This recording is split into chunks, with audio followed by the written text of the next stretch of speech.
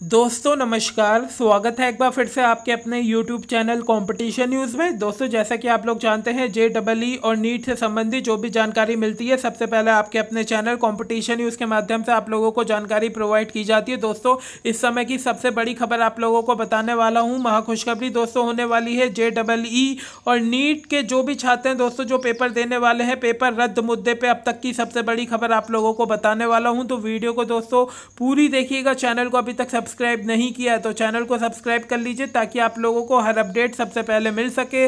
तो चलिए दोस्तों, वीडियो शुरू करते हैं। काफ़ी महत्वपूर्ण जानकारी आप लोगों को इस वीडियो के माध्यम से मिलने वाली है।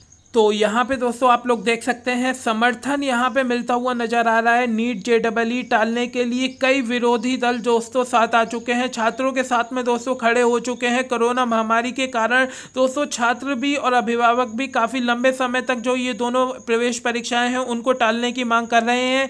ऐसे में दोस्तों मोदी जी को भी पत्र लिखा गया है कि जो परीक्षा है उसे टाल दिया जाए। पूरी खबर को दोस्तों देखने वाले हैं और जो मोदी जी को पत्र लिखा गया है, वो भी देखने वाले हैं। तो पेपर रद्द मुद्दे पर दोस्तों दोस्तों, पूरा का पूरा देश में एक तरीके से दोस्तों कह सकते हैं भूचाल आ गया है।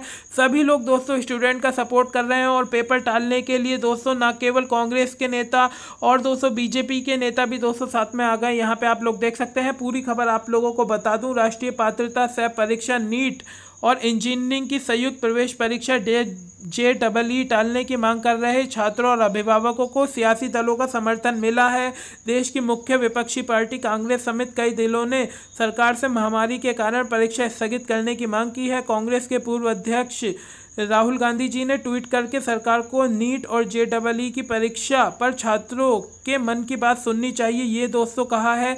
इससे पहले एनडीए का हिस्सा लोजापा के अलावा राजद और आप भी परीक्षा टालने की मांग कर चुके हैं। वहीं विभिन्न छात्र दलों ने भी सोशल मीडिया पर परीक्षा टालने के लिए अभियान चलाया हुआ है। तो यानी कि दोस्तों, हर तरफ़ से आप लोगों को सपोर्ट मिल रहा है और प्रधानमंत्री को भी दोस्तों पत्र लिखा गया है, वो भी आप लोगों को दिखाने वाला हूँ।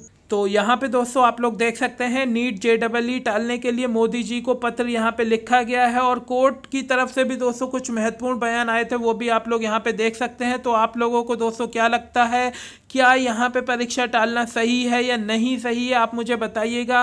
परीक्षा टालना दोस्तों, यहाँ पे मुझे लगता है कि सही रहेगा क्योंकि कोरोना का जो बढ़ता हुआ प्रकोप है, उसे देखते हुए दोस्तों छात्र काफ़ी ज़्यादा डरे हुए हैं।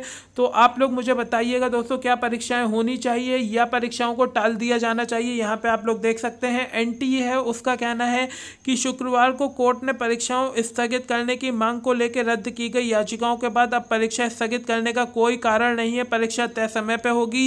यानी कि दोस्तों एनटीए पूरी तरीके से अड़ चुका है परीक्षा करवाने को लेकर। और यहाँ पे आप लोग देख सकते हैं, जो सुब्रमण्यम स्वामी है, देश के दोस्तों, बड़े नेता हैं, बीजेपी के सांसद हैं, उनके द्वारा यहाँ पे कहा गया है कि एनटीए ने ए आई A P G E T 2020 यानी कि आयुष और अन्य टेस्ट कोर्स के लिए प्रवेश परीक्षा निर्धारित तारीख से महज एक सप्ताह पहले टाल दी थी, अगर ये परीक्षाएँ टाली जा सकती हैं तो नीट जे डबल ई की परीक्षाएँ क्यों नहीं टाली जा सकती हैं? और यहाँ पे दोस्तों आप लोग देख सकते हैं जो कपिल सिब्बल जी हैं, उनका भी यहाँ पे बड़ा बयान आया है, यह नाइंसाफ़ी रोकें कोरोना महामारी के दौर में परीक्षा केंद्रों पर पहुँचना छात्रों के लिए काफ़ी ज़्यादा खतरनाक है और कई समस्याएँ हैं। जे डबल ई नीट परीक्षाओं को टालना एकमात्र सही और संवेदनशील समाधान है। तो यहाँ पे दोस्तों प्रधानमंत्री मोदी जी को भी यहाँ पे पत्र लिखा गया है। जो भी अपडेट दोस्तों मिलेगी आप लोगों को सबसे पहले प्रोवाइड की जाएगी तो चैनल को सब्सक्राइब करना ना भूलें। जो भी दोस्तों जानकारी मिलेगी, हम आप लोगों को सबसे पहले प्रोवाइड करवाएँगे। फ़िलहाल दोस्तों वीडियो में इतना ही। जय हिंद, जय भारत।